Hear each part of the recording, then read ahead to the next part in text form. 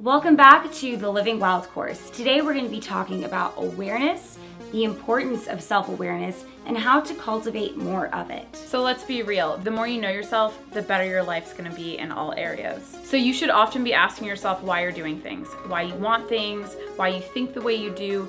It's really important to understand exactly where these motives are really coming from.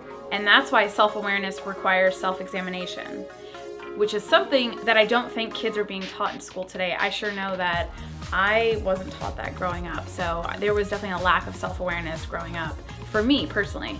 Here are some ways to teach yourself how to be more self-aware. Read philosophy. We highly recommend Stoic philosophy. And also consider reading many of the other classic philosophers, such as Immanuel Kant, Aristotle, and Socrates. Also, if you really want to take your self-awareness exploration to the next step, consider a therapist. There's a lot of stigma around therapy, but there shouldn't be, especially since therapy is all about learning about yourself as a person.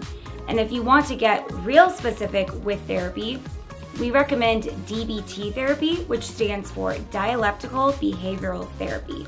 And this kind of therapy specifically helps you get to the root of your internal processes that guide your behaviors and ways of thinking. And it can also help you identify triggers that spark emotional responses in you. We have a really great book suggestion for you all. It's one of our favorites. I was referred to it by my brother Colin, and it is called Awareness by Anthony DeMello. It's all about awareness if you couldn't tell by the title. And it really puts life in perspective for you and makes you question everything that you're doing.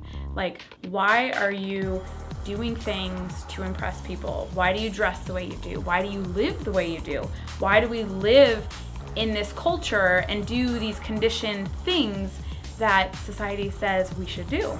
So it's an interesting one for sure. It gets you really thinking and we love to recommend it to our team here and we would like to recommend it to you all. So we will be sure to link that book down below for you all to take a look. It's a short and easy read. We highly recommend it. Thanks for listening to this short guide on self-awareness. We hope it helps you in your journey. And we'll see you guys for the next Living Wild course.